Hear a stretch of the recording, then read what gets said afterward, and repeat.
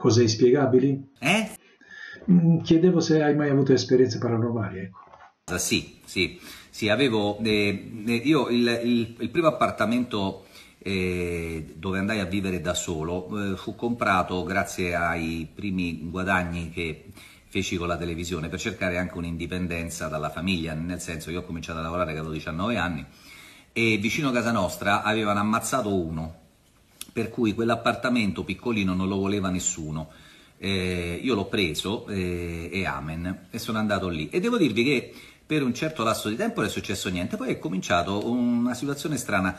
Eh, durante la notte io andavo a letto e la mattina quando mi risvegliavo c'erano le luci accese, gli armadi erano parzialmente aperti, poi ha cominciato a partire lo sciacquone di notte e mi sono domandato che cosa potesse essere, insomma, dopo un po' era diventata un po' una rottura di scatole e l'ho, eh, come dire, ravvisata nella presenza di qualcosa.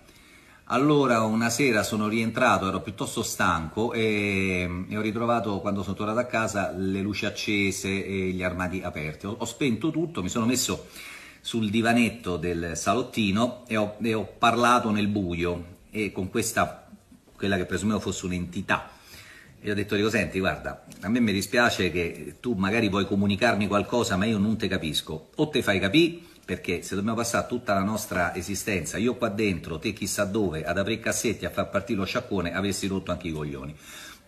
E mm, sono stato mm, abbastanza chiaro e da quel momento non è successo più niente, finché una sera venne eh, per la prima volta Sonia a dormire da me e lei mi ha detto che nella notte ha visto una presenza scura che si è avvicinata al nostro letto e ha sovrastato lei e ha messo una mano su di me ha cominciato a parlare. Io non mi ricordo niente. La mattina quando me l'ha raccontato le ho spiegato la vicenda. Da quel momento non è successo più niente, tranne che ho cambiato casa perché se non si dormiva più.